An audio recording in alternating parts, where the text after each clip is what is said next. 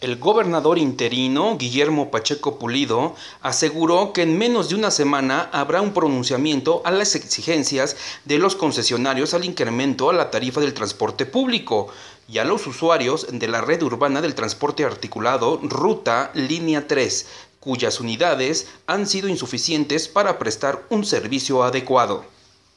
Ya está trabajando sobre el tema la Secretaría al respecto.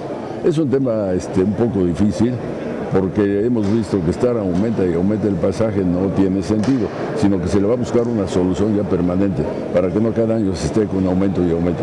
Hay, hay un proyecto muy interesante que, se que tiene la Secretaría y lo va a presentar a los interesados. ¿Cuál sería la idea, ¿Perdón? ¿Cuál sería la idea de Bueno, realmente la tiene ahí el secretario y yo espero que eh, él la maneje. ¿Cuándo la van a presentar? Pues ya la, están, ya, ya la tienen, ya están estudiando. Yo calculo que unos semana más tenga reuniones con los interesados. Paralelo a tener una concesión es tener el vehículo en buen estado, eso es, para, es una obligación. Pero... Para Reto Diario informó